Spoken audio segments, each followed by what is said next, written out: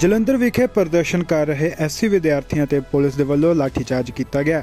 ਦਰਅਸਲ ਜਲੰਧਰ ਦੇ ਬੀਐਸਐਫ ਚੌਂਕ 'ਚ ਐਸਸੀ ਵਿਦਿਆਰਥੀਆਂ ਵੱਲੋਂ ਐਸਸੀ ਸਕਾਲਰਸ਼ਿਪ ਨੂੰ ਲੈ ਕੇ ਧਰਨਾ ਪ੍ਰਦਰਸ਼ਨ ਕੀਤਾ ਜਾ ਰਿਹਾ ਸੀ। ਇਸ ਦੌਰਾਨ ਜਲੰਧਰ ਪੁਲਿਸ ਨੇ ਵਿਦਿਆਰਥੀਆਂ ਨੂੰ ਖਦੇੜਨ ਲਈ ਬਲ ਦੀ ਵਰਤੋਂ ਕੀਤੀ। ਪੁਲਿਸ ਦੀ ਵਿਦਿਆਰਥੀਆਂ ਨਾਲ ਪਹਿਲਾਂ ਧੱਕਾ ਮੁੱਕੀ ਹੋਈ ਅਤੇ ਫਿਰ ਬਾਅਦ ਵਿੱਚ ਪੁਲਿਸ ਨੇ ਵਿਦਿਆਰਥੀਆਂ ਤੇ ਲਾਠੀਚਾਰਜ ਕਰ ਦਿੱਤਾ। ਪੁਲਿਸ ਨੇ ਕਈ ਵਿਦਿਆਰਥੀਆਂ ਨੂੰ ਰਾਉਂਡ ਅਪ ਕਰਕੇ ਥਾਣੇ ਵਿੱਚ ਨਜ਼ਰਬੰਦ ਕਰ ਦਿੱਤਾ। ਹੈ। ਇਸ ਸੰਬੰਧੀ ਜਾਣਕਾਰੀ ਦਿੰਦੇ ਹੋਏ ਸਾਬਕਾ ਵਿਧਾਇਕ ਪਵਨ ਟੀਨੂ ਨੇ ਕਿਹਾ ਕਿ ਸਰਕਾਰ ਤੇ ਪ੍ਰਸ਼ਾਸਨ ਵਿਦਿਆਰਥੀਆਂ ਨੂੰ ਇਨਸਾਫ ਦੇਣ ਦੀ ਬਜਾਏ ਉਹਨਾਂ ਨਾਲ ਧੱਕਾ ਕਰ ਰਿਹਾ ਹੈ। ਇਹ ਬਦਲਾਅ ਵਾਲੀ ਸਰਕਾਰ ਨੇ ਜਿਹੜੇ ਵਿਦਿਆਰਥੀ ਵਿਚਾਰੇ ਪੀਸਫੁਲੀ ਆਪਣੀਆਂ ਫੀਸਾਂ ਦੀ, ਆਪਣੇ ਵਜ਼ੀਫੇ ਦੀ ਜਾਇਜ਼ ਮੰਗ ਕਰ ਰਹੇ ਸੀ, ਉਹਨਾਂ ਨੂੰ ਬਦਲਾਅ ਵਾਲੀ ਸਰਕਾਰ ਨੇ, ਉਹਦੀ ਪੁਲਿਸ ਨੇ ਥਾਣੇ ਬੰਦ ਕਰ ਦਿੱਤੇ। ਇਹ ਵਿਦਿਆਰਥੀ ਆ ਮੈਂ ਸਰਕਾਰ ਨੂੰ ਕਹਿਣਾ ਚਾਹੁੰਦਾ ਇਹ ਵਿਦਿਆਰਥੀ ਹੈ ਸਟੂਡੈਂਟ ਹੈ ਕੋਈ ਅਪਰਾਧੀ ਨਹੀਂ। ਜਿਨ੍ਹਾਂ ਨੂੰ ਤੁਸੀਂ ਇੰਨਾ ਧੱਕਾ ਮੁੱਕੀ ਕਰਕੇ ਮਾੜਾ ਵਿਵਹਾਰ ਕਰਕੇ ਲਿਆ ਕੇ ਥਾਣੇ ਬੰਦ ਕੀਤਾ। ਤੇ ਉਹਨਾਂ ਬੱਚਿਆਂ ਦੇ ਅੱਜ ਪੇਪਰ ਵੀ ਆ। ਹੁਣ ਅਧਿਕਾਰੀਆਂ ਨੂੰ ਕਹਿ ਕੇ ਦੋ ਬੱਚਿਆਂ ਦੇ ਜਿਨ੍ਹਾਂ ਦੇ ਪੇਪਰ ਆ 1:30 ਵਜੇ ਉਹ ਤਾਂ ਅਸੀਂ ਉਹ ਲਿਆਂਦੇ ਆ ਬਾਕੀ ਹੱਲੇ ਵੀ ਅੰਦਰ ਆ। ਕਿੰਨੇ ਬੱਚੇ ਦੇਖੋ ਕੁੜੀਆਂ ਵੀ ਅੰਦਰ ਫੜ ਕੇ ਰੱਖੀਆਂ ਇਹਨਾਂ ਨੇ। ਗਿਣਤੀ ਹਾਲੇ ਪੂਰੀ ਤਰ੍ਹਾਂ ਸਾਹਮਣੇ ਨਹੀਂ ਆ ਰਹੀ, ਕਿਉਂਕਿ ਉੱਥੇ ਹਫੜਾ ਦਫੜੀ ਮਚ ਗਈ ਸੀ ਜਦੋਂ ਪੁਲਿਸ ਨੇ ਉੱਥੇ ਧੱਕਾ ਮੁੱਕੀ ਕੀਤੀ ਆ। ਤੇ ਇਹ ਕਹਿ ਰਹੇ ਸਾਡੇ ਕੋਲ 5-6 ਬੱਚੇ ਆ। ਤੇ ਵਿਦਿਆਰਥੀ ਕਹਿ ਰਹੇ ਆ ਵੀ 10-12 ਬੱਚੇ। ਔਰ ਉਹ ਜਿਹੜੇ ਬੱਚੇ ਮਿਸਿੰਗ ਆ, ਉਹਨਾਂ ਦੇ ਫੋਨ ਵੀ ਬੰਦ ਆ। ਤੇ ਇਹਦੇ ਵਿੱਚ ਕਿਤੇ ਨਾ ਕਿਤੇ ਸ਼ੱਕ, ਕਿਤੇ ਗੜਬੜ ਜ਼ਰੂਰ ਆ, ਜਿਹੜੀ ਪੁਲਿਸ ਦੱਸ ਨਹੀਂ ਰਹੀ। ਤੇ ਮੈਨੂੰ ਤਾਂ ਬੜੀ ਹੈਰਾਨਗੀ ਆ ਵੀ ਪੁਲਿਸ ਇਦਾਂ ਕਿਉਂ ਕਰ ਰਹੀ ਆ? ਪੁਲਿਸ ਨੂੰ ਸਗੋਂ ਉਹਨਾਂ ਦੇ ਬੱਚੇ ਆ, ਇਹਨਾਂ ਮੁਲਾਜ਼ਮ ਜਿਹੜੇ ਉਹਨਾਂ ਦੇ ਪੁੱਤ ਭਤੀਜੇ ਵਾਲੇ ਆ, ਇਹ ਪੜ੍ਹਾਈ ਵਾਸਤੇ ਮੰਗ ਕਰ ਰਹੇ ਇਹ ਕੋਈ ਕ੍ਰਿਮੀਨਲ ਥੋੜੀ ਹੈ ਕੋਈ ਐਕਸ਼ਨ ਕਰਨਾ ਪੁਲਿਸ ਨੇ, ਸਰਕਾਰ ਨੇ, ਕਰੇ। ਜਿਹੜੇ ਡਰੱਗ ਦਾ ਧੰਦਾ ਕਰਦੇ ਆ, ਨਜਾਇਜ਼ ਸ਼ਰਾਬ ਦਾ ਧੰਦਾ ਕਰਦੇ ਆ, ਸ਼ਰੇਆਮ ਸ਼ਹਿਰ 'ਚ ਦੜਾ, ਸੱਟਾ ਲੱਗ ਰਿਹਾ ਗੈਰ ਕਾਨੂੰਨੀ ਧੰਦੇ ਹੋ ਰਹੇ ਉੱਤੇ ਜਾ ਕੇ ਪੁਲਿਸ ਕੰਮ ਕਰੇ। ਆ ਵਿਦਿਆਰਥੀ ਜਿਹੜੇ ਵਿਚਾਰੇ ਪੜ੍ਹਨਾ ਚਾਹੁੰਦੇ ਆ ਜਿਹੜੇ ਬਾਹਰ ਚਾਹਣਾ ਜਾਣਾ ਚਾਹੁੰਦੇ ਪੜ੍ਹ ਕੇ ਉਹਨਾਂ ਨੂੰ ਅੰਦਰ ਕਰੀ ਜਾਂਦੇ ਆ। ਸੋ ਇਸ ਕਰਕੇ ਇਹ ਨਜਾਇਜ਼ ਆ। ਅਸੀਂ ਇਹਦੀ ਨਿਖੇਧੀ ਕਰਦੇ ਆ। ਮੈਂ ਸਭ ਨੂੰ ਬੇਨਤੀ ਕਰਦਾ ਵੀ ਇਹਨਾਂ ਵਿਦਿਆਰਥੀਆਂ ਦੀ ਮਦਦ ਮੰਗਾ ਕੀ ਸੀ ਇਹਨਾਂ ਦੀ ਅੱਜ ਇਹਨਾਂ ਦੀਆਂ ਮੰਗਾਂ ਇਹ ਸੀ ਵੀ ਜਿਹੜੀਆਂ ਪ੍ਰਾਈਵੇਟ ਕਾਲਜ ਤੇ ਯੂਨੀਵਰਸਿਟੀਆਂ ਆ ਉਹ ਇਹਨਾਂ ਬੱਚਿਆਂ ਨੂੰ ਕਹਿ ਰਹੀਆਂ ਕਿ ਫੀਸ ਲੈ ਕੇ ਆਓ। ਜਦ ਕਿ ਸਰਕਾਰ ਕਹਿ ਰਹੀ ਹੈ ਕਿ ਅਸੀਂ ਫੀਸ ਦੇ ਰਹੇ ਹਾਂ। ਸਰਕਾਰ ਭੇਜ ਨਹੀਂ ਰਹੀ। ਉਹ ਕਾਲਜ ਵਾਲੇ ਉਹਨਾਂ ਨੂੰ ਬਹਿਣ, ਕਾਲਜ ਨਹੀਂ ਆਉਣ ਦਿੰਦੇ, ਬਹਿਣ ਨਹੀਂ ਦਿੰਦੇ। ਇਹ ਵਿਚਾਰੇ ਕੀ ਕਰਨ? ਬਾਰ-ਬਾਰ ਡਿਪਟੀ ਕਮਿਸ਼ਨਰ ਦੇ ਬਾਰ-ਬਾਰ ਵੈਲਫੇਅਰ ਅਫਸਰ ਚ ਬਾਰ-ਬਾਰ ਐਸਡੀਐਮ ਤੇ ਜਾ ਕੇ ਥੱਕ ਗਏ ਆ। ਵੀ ਜੇ ਨਾਅਰੇਬਾਜ਼ੀ ਵੀ ਨਾ ਕਰਨ ਉਹ ਨਾਅਰੇਬਾਜ਼ੀ ਕਰਨਾ ਤਾਂ ਬੰਦੇ ਦਾ ਅਧਿਕਾਰ ਆ ਜਦੋਂ ਤੁਸੀਂ ਦਿੰਦੇ ਕੁਝ ਨਹੀਂ। ਤੇ ਤੁਸੀਂ ਨਾਅਰੇਬਾਜ਼ੀ ਦੇ ਜਵਾਬ ਵਿੱਚ ਉਹਨਾਂ ਨੂੰ ਥਾਣੇ ਬੰਦ ਕਰ ਰਹੇ ਹੋ ਇਹ ਨਿਰੀ ਪੂਰੀ ਬੇਇਨਸਾਫੀ। ਪੁਲਿਸ ਵੱਲੋਂ ਕੀਤੇ ਗਏ ਲਾਠੀਚਾਰਜ ਤੇ ਬੋਲਦੇ ਹੋਏ ਪ੍ਰਦਰਸ਼ਨ ਕਰ ਰਹੇ ਵਿਦਿਆਰਥੀਆਂ ਨੇ ਕਿਹਾ ਕਿ ਉਹਨਾਂ ਵੱਲੋਂ ਪਹਿਲਾ ਮੰਗ ਪੱਤਰ ਦਿੱਤਾ ਗਿਆ ਸੀ ਪਰ ਉਸ ਤੇ ਕਾਰਵਾਈ ਨਾ ਹੁੰਦੀ ਦੇਖ ਉਹਨਾਂ ਨੂੰ ਅੱਜ ਧਰਨਾ ਲਗਾਉਣ ਲਈ ਮਜਬੂਰ ਹੋਣਾ ਪਿਆ। ਕੀ ਨਾਮ ਆ ਆਪਣਾ? ਬਾਈ ਪ੍ਰਬਲ ਜੀ। ਕਿੱਥੇ ਧਰਨਾ ਲਾਇਆ ਅਸੀਂ ਲਾਇਆ ਸੀਗਾ ਜੀ ਬੀਐਸਐਫ ਚੋਂ। ਧਰਨਾ ਕਿਉਂ ਲਾਇਆ ਗਿਆ? ਧਰਨਾ ਲਾਇਆ ਗਿਆ ਸੀ ਸਕਾਲਰਸ਼ਿਪ ਦੇ ਮਸਲੇ 'ਚ ਕਿਉਂਕਿ ਸਰਕਾਰ ਵੱਲੋਂ ਸਕਾਲਰਸ਼ਿਪ ਸਾਡੇ ਸਟੂਡੈਂਟ ਨਹੀਂ ਆਈ ਪੂਰੀ ਅਜੇ ਤੇ ਉਸ ਮਾਮਲੇ 'ਚ ਸਾਡੀ ਮਹੀਨਾ ਪਹਿਲਾਂ ਕਾਨਫਰੰਸ ਸ਼ੁਰੂ ਹੋ ਗਈ ਸੀ ਡੀਸੀ ਸਾਹਿਬ ਨਾਲ ਉਹਨਾਂ ਨੂੰ ਬਾਰ-ਬਾਰ ਅਸੀਂ ਮੰਗ ਪੱਤਰ ਦੇ ਕੇ ਆਏ ਆ ਪਰ ਉਹਨਾਂ ਦਾ ਕੋਈ ਰਿਸਪੌਂਸ ਨਹੀਂ ਆਇਆ ਤੇ ਇਸ ਦੁੱਖ ਦੁਖੀ ਹੋ ਕੇ ਅਸੀਂ ਧਰਨਾ ਲਾਇਆ। ਜੀ ਧਰਨੇ ਦਾ ਤੁਹਾਨੂੰ ਪ੍ਰੂਫ ਚੱਕ ਕੇ ਲੈ ਕੇ ਗਈ ਹੈ।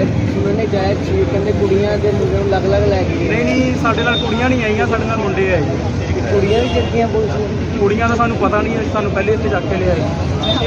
ਕੀ ਕਾਰਵਾਈ ਹੋਈ ਹੈ? ਕਾਰਵਾਈ ਕੁਛ ਨਹੀਂ। ਇਹ ਤਾਂ ਕਹਿ ਨਹੀਂ ਸਕਦੇ ਕਿ ਕੀ ਕਾਰਵਾਈ ਹੋਈ ਆ। ਇਹਨੂੰ ਸਭ ਬੈਠੇ ਨਾ ਭਾਈ ਜੀ ਅੰਦਰ ਗਏ ਕੀ ਗੱਲ ਤੁਹਾਡੀ? ਗੱਲਬਾਤ ਕੀ ਹੋਈ ਅੰਦਰ ਤੁਹਾਡੀ ਗੱਲਬਾਤ ਤਾਂ ਬਈ ਕੁਛ ਨਹੀਂ ਹੋਈ। ਜੀ ਉਹਨਾਂ ਨੇ ਬਸ ਸਾਨੂੰ ਬਿਠਾ ਲਿਆ ਉੱਥੇ ਜਾ ਕੀ। ਨਾਮ ਆ ਆਪਣਾ? ਕੇ।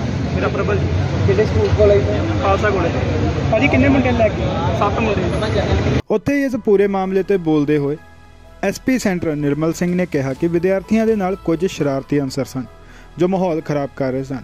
ਇਸ ਕਰਕੇ ਉਹਨਾਂ ਵੱਲੋਂ ਸ਼ਰਾਰਤੀ ਅਨਸਰਾਂ ਨੂੰ ਰਾਉਂਡ ਅਪ ਕਰਕੇ ਥਾਣੇ 'ਚ ਨਜ਼ਰਬੰਦ ਕਰ ਦਿੱਤਾ ਗਿਆ ਇਹ ਅੱਜ ਇਹ ਖਾਲਸਾ ਕਾਲਜ ਦੇ ਸਟੂਡੈਂਟਸ ਵੱਲੋਂ ਜਿਹੜਾ ਹੈਗਾ ਬੀਐਸਐਫ ਚੌਂਕ ਦੇ ਵਿੱਚ ਜਿਹੜਾ ਹੈਗਾ ਜਾਮ ਲਗਾਇਆ ਸੀਗਾ। ਤੋਂ ਮੌਕੇ ਦੇ ਉੱਤੇ ਸਾਡੀ ਜਿਹੜੀ ਪੁਲਿਸ ਫੋਰਸ ਆ, ਉਹ ਮੌਜੂਦ ਸੀਗੀ। ਤਾਂ ਮੈਂ ਵੀ ਮੌਕੇ ਤੇ ਪਹੁੰਚਿਆ ਸੀ। ਜਾ ਕੇ ਇਹਨਾਂ ਦੇ ਨਾਲ ਗੱਲਬਾਤ ਕੀਤੀ ਕਿ ਤੁਹਾਡਾ ਮਸਲਾ ਕੀ ਹੈ। ਤੋ ਐਕਚੁਅਲ ਬੱਚਿਆਂ ਦਾ ਜਿਹੜਾ ਹੈਗਾ, ਕੋਈ ਸਕਾਲਰਸ਼ਿਪ ਦਾ ਮਸਲਾ ਹੈਗਾ, ਤਾਂ ਫਿਰ ਇਹਨਾਂ ਨੂੰ ਅਸੀਂ ਸਮਝਾਇਆ ਕਿ ਵੀ ਜਿਹੜਾ ਹਾਈਵੇ ਆਪਾਂ ਜਾਮ ਕਰਦੇ ਹਾਂ, ਉਹਦੇ ਨਾਲ ਬਹੁਤ ਆਮ ਲੋਕਾਂ ਨੂੰ ਨੁਕਸਾਨ ਹੁੰਦਾ। ਲੋਕ ਹਰਾਸਮੈਂਟ ਹੁੰਦੇ ਆ ਮਰੀਜ਼ ਲੰਘਦੇ ਆ, ਪੂਰਾ ਸ਼ਹਿਰ ਬਲਾਕ ਹੁੰਦਾ, ਵੀ ਜਦ ਤੱਕ ਹੁੰਦੀ ਤੋ ਇਹਨਾਂ ਨੂੰ ਸਮਝਾ ਬਜਾ ਕੇ ਬੱਚੇ ਸੀਗੇ, ਇਹਨਾਂ ਨੂੰ ਅਸੀਂ ਇੱਕ ਸਾਈਡ ਦੇ ਉੱਤੇ ਕੀਤਾ। ਜਿਹੜੇ ਪੰਜ ਚਾਰ ਸ਼ਰਾਰਤੀ ਸੀਗੇ, ਜਿਨ੍ਹਾਂ ਦੇ ਵਿੱਚ ਦੋ ਦੋ ਜਾਂ ਤਿੰਨ, ਉਹ ਸ਼ਰਾਰਤੀ ਜੇ ਹੈਗੇ ਨੇ ਪ੍ਰਧਾਨ ਟਾਈਪ ਜਿਨ੍ਹਾਂ ਨੇ ਇਹਨਾਂ ਬੱਚਿਆਂ ਨੂੰ ਇਨਸਟੀਗੇਟ ਕੀਤਾ ਹੈਗਾ, ਉਹਨਾਂ ਨੂੰ ਅਸੀਂ ਨੋਟ ਕੀਤਾ ਹੈ ਤੇ ਜਿਹੜਾ ਹੈਗਾ, ਬੱਚਿਆਂ ਨੂੰ ਸਮਝਾ ਕੇ ਜਿਹੜਾ ਹੈਗਾ, ਅਸੀਂ ਟ੍ਰੈਫਿਕ ਨੂੰ ਜਿਹੜਾ ਹੈਗਾ, ਉਹ ਰੈਗੂਲੇਟ ਕੀਤਾ, ਜਿਹੜੀ ਕਿ ਨਾਰਮਲ ਚੱਲ ਰਹੀ ਹੈ ਇਸ ਟਾਈਮ ਬਿਲਕੁਲ ਜੇ ਗੱਲ ਕਰੀਏ, ਉਹ ਕਹਿੰਦੇ ਕਿ ਕੁਝ ਬੱਚਿਆਂ ਦੇ ਐਗਜ਼ਾਮ ਵੀ ਸੀ, ਉਹਨਾਂ ਨੂੰ ਵੀ ਰਾਉਂਡ ਅਪ ਕੀਤਾ ਗਿਆ ਕੁਝ ਇਸ ਤਰ੍ਹਾਂ ਦਾ ਦੇਖੋ, ਇਹ ਜਿਹੜਾ ਇਹ ਪ੍ਰਧਾਨ ਸੀਗੇ, ਇਹਨਾਂ ਨੇ ਬੱਚਿਆਂ ਨੂੰ ਇਸ ਤਰ੍ਹਾਂ ਇਨਸਟੀਗੇਟ ਕੀਤਾ ਮੋਟੀਵੇਟ ਕੀਤਾ ਕਿ ਵੀ ਮੇਰੇ ਵੀ ਧਿਆਨ ਦੇ ਵਿੱਚ ਆਇਆ ਹੈਗਾ ਕਿ ਦੋ ਬੱਚਿਆਂ ਦੇ ਐਗਜ਼ਾਮ ਸੀਗੇ, ਉਹ ਬੱਚੇ ਆਪਣਾ ਐਗਜ਼ਾਮ ਦੇਣ ਚਲੇ ਗਏ ਹੈਗੇ ਦੇਖੋ, ਸਾਡੀ ਬੱਚਿਆਂ ਦਾ ਫਿਊਚਰ ਆ, ਬੱਚਿਆਂ ਦੀ ਲਾਈਫ ਆ, ਸਾਡੇ ਬੱਚਿਆਂ ਵਰਗੇ ਸਾਨੂੰ ਕੋਈ ਦਿੱਕਤ ਨਹੀਂ ਹੈ। ਲੇਕਿਨ ਕਾਨੂੰਨ ਨੂੰ ਹੱਥ ਦੇ ਵਿੱਚ ਲੈਣਾ ਹਾਈਵੇ ਨੂੰ ਜਾਮ ਕਰਨਾ ਹੈਗਾ ਇਹ ਇੱਕ ਕਾਨੂੰਨੀ ਅਪਰਾਧ ਹੈ। ਸਰ ਦੱਸਿਆ ਜਾ ਰਿਹਾ ਹੈ ਕਿ ਜਿਹੜੇ ਬੱਚੇ ਸੀਗੇ ਕੁਝ ਕੁਝ ਉਹਨਾਂ ਚ ਪੜ੍ਹਦੇ ਵੀ ਨਹੀਂ ਹੈਗੇ ਸਟੂਡੈਂਟਸ ਨਹੀਂ ਹੈਗੇ ਕੋਈ ਇਦਾਂ ਇਹ ਬ੍ਰਦਰ ਜਿੱਦਾਂ ਮੈਂ ਤੁਹਾਨੂੰ ਪਹਿਲਾਂ ਦੱਸਿਆ ਸੀਗਾ ਕਿ ਇਹਦੇ ਵਿੱਚ ਕੁਝ ਐਸੇ ਲੋਕ ਹੈਗੇ ਨੇ ਜਿਨ੍ਹਾਂ ਨੇ ਇਹ ਡੈਮੋਨਸਟ੍ਰੇਸ਼ਨ ਕੀਤਾ ਇੱਥੇ ਆ ਕੇ ਉਹਨਾਂ ਦੇ ਵਿੱਚ ਸਟੂਡੈਂਟ ਨਹੀਂ ਹੈਗੇ ਉਹ। ਪਰ ਉਹ ਅਸੀਂ ਹੁਣ ਵੈਰੀਫਾਈ ਕਰ ਰਹੇ ਹਾਂ ਉਹਨਾਂ ਦੇ ਖਿਲਾਫ ਵੀ ਅਸੀਂ ਬੰਦੀ ਕਾਰਵਾਈ ਕਰਾਂਗੇ। ਜੀ, ਜਿਹੜੇ ਜਿਹੜੇ ਬੱਚਿਆਂ ਦੀਆਂ ਸਹੀ ਮੰਗ ਸੀ ਸਕਾਲਰਸ਼ਿਪ ਨੂੰ ਲੈ ਕੇ ਕਿ ਉਹਨਾਂ ਦੀ ਆਵਾਜ਼ ਜਿਹੜੀ ਹੈ ਜਾਂ ਉਹਨਾਂ ਦੀ ਗੱਲ ਜਿਹੜੀ ਪ੍ਰਸ਼ਾਸਨ ਤੱਕ ਜਿਹੜੇ ਉਹ ਅਸੀਂ ਬੱਚਿਆਂ ਨੂੰ ਰਿਕੁਐਸਟ ਕੀਤੀ ਸੀਗੀ ਮੈਂ ਮੌਕੇ ਦੇ ਉੱਤੇ ਕਿ ਤੁਸੀਂ ਆਪਣਾ ਕੋਈ ਮੈਮੋਰੈਂਡਮ ਟਾਈਪ ਕਿਸੇ ਵੀ ਤੁਸੀਂ ਜ਼ਿਲ੍ਹਾ ਅਧਿਕਾਰੀ ਡੀਸੀ ਸਾਹਿਬ ਹੋਗੇ ਸੀਪੀ ਸਰ ਹੋਗੇ ਜਾਂ ਕੋਈ ਪੋਲੀਟੀਕਲ ਹਸਤੀ ਐਮਐਲਏ ਸਾਹਿਬ ਬੈਠੇ ਨੇ ਸਾਡੇ ਔਰ ਐਮਪੀ ਸਾਹਿਬ ਬੈਠੇ ਨੇ ਕਿਸੇ ਵੀ ਮਤਲਬ ਨਾਲ ਤੁਸੀਂ ਗੱਲ ਕਰਨੀ ਚਾਹੁੰਦੇ ਹੋ ਅਸੀਂ ਉਹ ਗੱਲ ਕਰਵਾਉਣ ਵਾਸਤੇ ਤਿਆਰ ਹਾਂ। ਅਸੀਂ ਤੁਹਾਡਾ ਮੈਮੋਰੈਂਡਮ ਵੀ ਦਵਾ ਦਿਆਂਗੇ ਤੇ ਵਧੀਆ ਮਾਹੌਲ ਦੇ ਵਿੱਚ ਅਸੀਂ ਗੱਲ ਵੀ ਕਰਾ ਦਿਆਂਗੇ ਔਰ ਇਹ ਗੱਲ ਜਿਹੜੀ ਹੈ ਫਿਲਹਾਲ ਚੱਲ ਵੀ ਰਹੀ ਹੈ। ਤੇ ਜਿਹੜਾ ਜਿਹੜਾ ਤੁਸੀਂ ਗੱਲ ਕਰ ਰਹੇ ਹੋ ਵੀ ਜਿਹੜੇ ਸਟੂਡੈਂਟ ਦਾ ਨਾਮ ਲੈ ਰਹੇ ਸੀ ਪੜ੍ਹਦੇ ਨਹੀਂ ਹੈਗੇ ਉਹਨਾਂ ਦੇ ਉੱਪਰ ਹੁਣ ਕੀ ਕਰ ਰਹੇ ਹੋ?